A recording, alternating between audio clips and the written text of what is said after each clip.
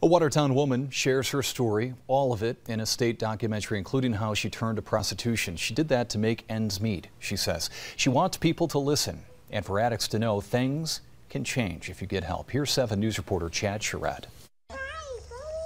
Meet Justice Mills, mother, manager, and recovering addict. With addiction comes really, really, really dark, ugly things.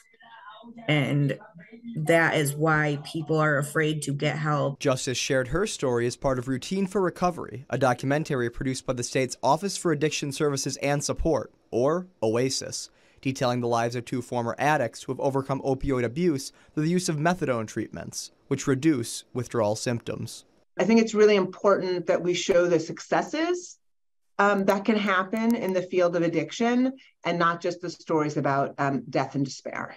Mills struggled with substance abuse for nearly a decade, starting in her early teens. Eventually, she turned to prostitution in order to make ends meet. But things changed in 2018 when she found out she was pregnant with her son, Cade.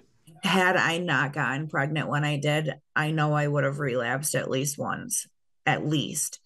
So he was like my saving grace. He doesn't know that, but he pretty much saved my life. Her advice for addicts on the road to recovery don't be ashamed whatever happened when you were using or whatever you did in the past, it's okay.